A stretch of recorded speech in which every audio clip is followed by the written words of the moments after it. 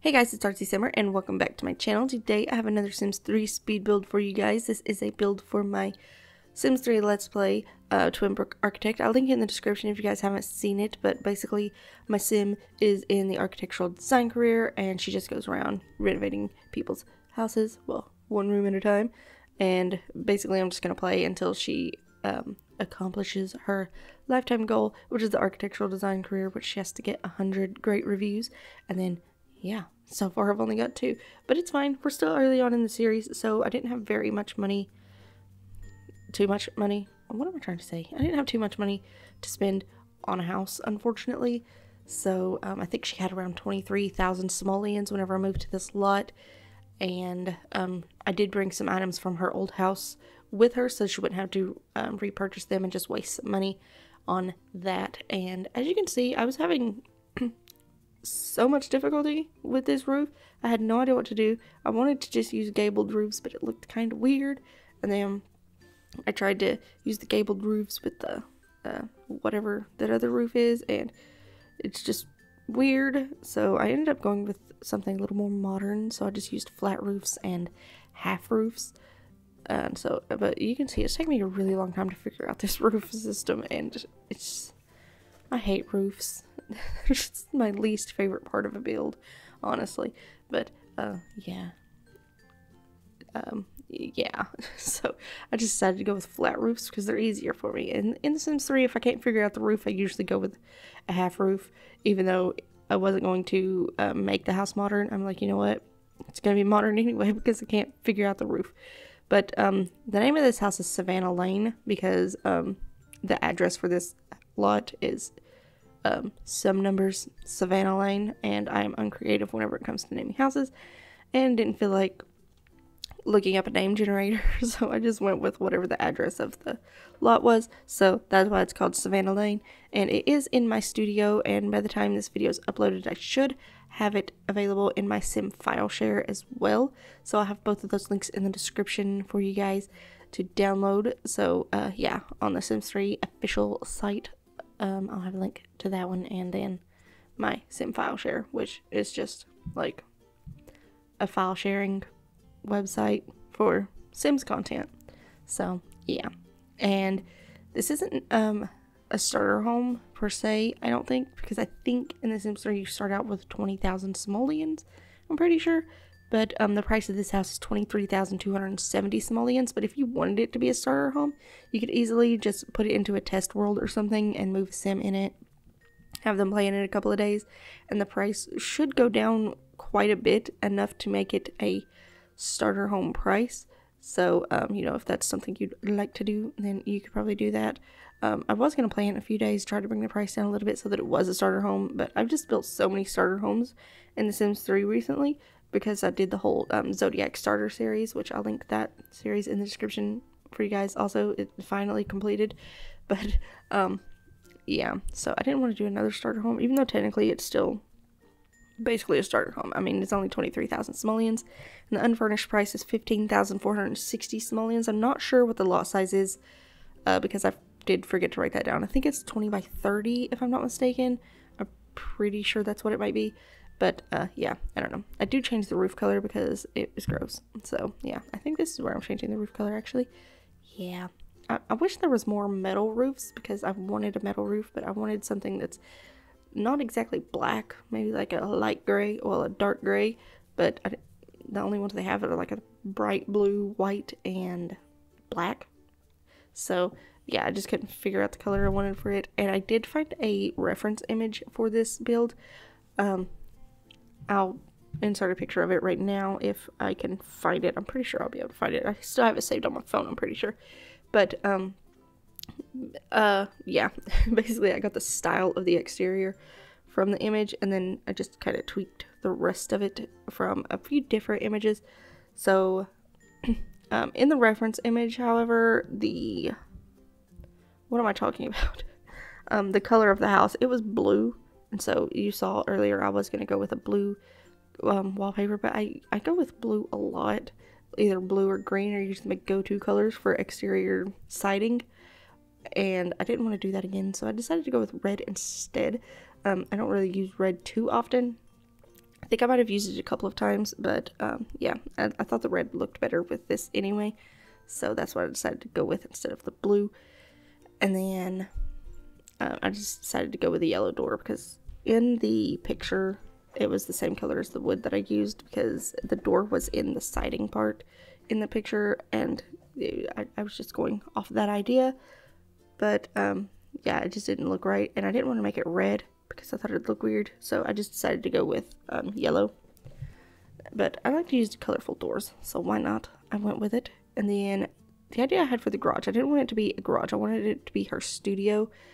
And so, um, yeah, it does have a garage door, but it was like, it was like she renovated the garage to become her studio because I couldn't afford a car. and, you know, I'm not exactly playing in this series, like playing the actual game too much. I'm just um, playing through the architectural design career, so it's basically just me renovating a bunch of houses in this series. So she doesn't really, well, I don't record much of her being in her house too much, so I felt there was really no need for her to have a car anyway. Um, same with the laundry room. Well, it's not really a room that I put in the kitchen, but I put a washer and dryer in the kitchen. Um, there wasn't really a necessity for it, but I had nothing else to put there, so that's why I decided to go with it. And then um, I wasn't going to put her drafting table and her easel in the garage as well. I was just going to put all of her crafting items in there, but the room was too small and it didn't fit because I did have to have a shower in there because she tends to catch on fire whenever she uses the um, workbench thing. So yeah, I had to put a shower in there and there wasn't room for an easel and the drafting table. So I just put those in her bedroom, but it's fine because her bedroom's pretty good size. It's about the same size as the garage. Actually, I'm pretty sure it is the same size as the garage. So I just decided to put it in her bedroom and it works. It's fine. And I wanted to put the sink in front of the window, but I thought it was weird to have the stove beside the refrigerator. So uh, that's why the kitchen layout's kind of weird. But it's fine. And I didn't want to put our bed just like up against the wall, like, you know, normal. So I decided to stick it in a corner and it is accessible. I did test this house, uh, you know, which is very unlike me, but I did test this house beforehand because I had my sim play in it for, I believe, a day or so. And so I, I just had to make sure everything worked because I will actually be using this house in my Let's Play. So I just needed to make sure that everything worked properly and everything did that I tested. Um, um I know the showers work, the um, the stuff in the garage works and all the appliances and everything worked and everything she used worked. So that's good. She didn't have any problems getting around the house. And I do change that dining table because I realized it was too big and there was no way my sim could possibly get past the dryer and that chair.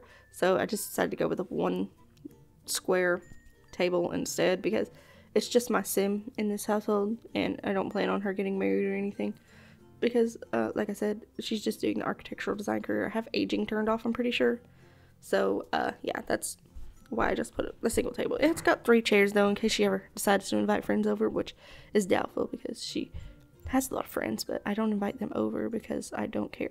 But, uh, yeah. I did cut out the recoloring of all the items and furniture, so you guys won't see that in the speed through, but it will be um, the recolored objects will be in the screenshots at the end of the video if you guys would like to see that. So stick around to the end of the video to see the screenshots. And yeah, so they're there. it's fine. And then the lights, I just wasn't sure what to do with the lights. I don't like the lights downstairs. The bedroom lights, I like. Um, they made me happy. But downstairs, I wasn't too thrilled about the lights, the light situation. I just wasn't sure what to do with it. And then, um, yeah, basically, uh, you saw um, I've mentioned it before. Whenever I'm doing a budget based build, I like to add in all the big furniture items and stuff first and then go back and decorate because I wasn't sure how much money I would have left and she only had 23,000 simoleons to begin with. So it was basically building a starter house or at least I thought it would be. But I forgot that she had a lot of the items that I brought from her house and then she had some stuff in her inventory that I could sell.